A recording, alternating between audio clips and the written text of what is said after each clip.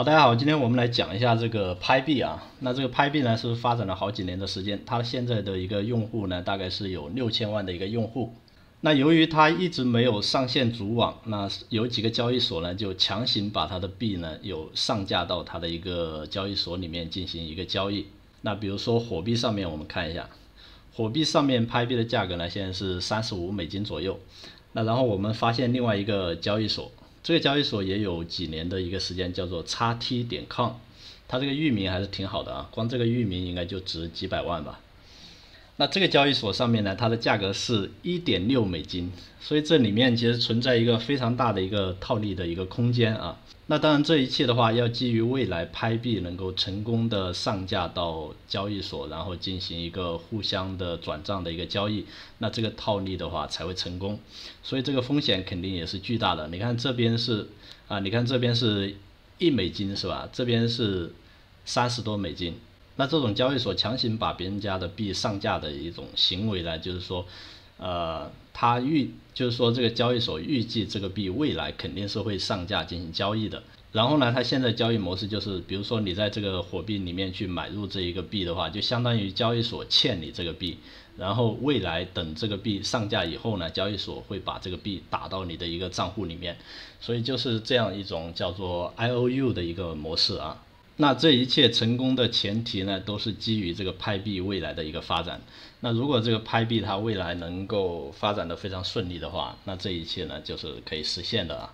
那我们还是重点关注一下这个拍币它为什么发展了这么多的一个用户，发展了这么多的一个线下的一个用户啊。这个拍币呢，它要解决的问题呢，就是去中心化的一个问题。因为我们现在知道，比特币虽然说名气很大，但是它已经高度的中心化了，对吧？现在比特币价格的走势基本上完全由几个巨鲸说了算啊，因为他们持有的总量已经远远超过了散户的一个总量，他们完全可以决定比特币的波动上还是下，他们都是完全可以决定的。那拍币呢，它是不需要任何人投资一分钱的，它是直接在手机上面点一下，每天就可以挖矿了，对吧？不用你去买那个矿机。那这是它的第一个解决的问题。那第二个解决的问题呢是，它是通过人传人的方式来进行传播的。它这个模式呢，就是完完全全利用了那种传销的一个模式。你拉的人越多，然后你挖矿的速度就越快，然后你账户里面的拍币就会越多啊。这个非常简单。那这个是第二点。那第三点呢？它现在最新的一个机制呢，就是锁仓的一个机制。它现在因为预计二零二四年底好像是要上主网了，所以他现在推出这一个锁仓模式来，就是说你账户里面的币锁仓，比如说半年也好，一年也好，三年也好，锁仓的越长，锁仓的越多，然后你挖矿的速度就越快。那这个也是这个拍币比较聪明的一点啊，它完全就是说掌控了这种人性和这种心理。那它这一套机制推广出来呢，使它的一个整个拍币的网络得到快速的一个扩张。那在线下是积累了非常多的一个用户。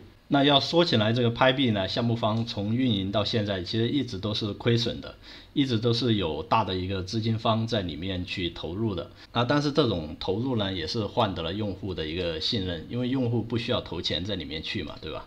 那如果拍币发展的好的话，在未来它的目标是成为一个。就是说，呃，全球的一个日常用户的一个支付的一个 APP 吧，就有点像那种支付宝、微信那种功能啊，就是让拍币实现日常的一个现实里面的一个支付啊。那相关的拍币的各种资料呢，大家都可以在网上去查看到。那如果你觉得这个拍币的模式是认可的，你觉得它是有可能会成功的，啊，你也可以去注册一下。去试一下它这个手机挖矿，去体验一下都是可以的。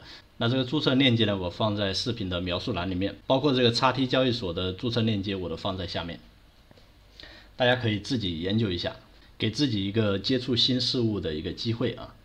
那这期视频就讲到这里。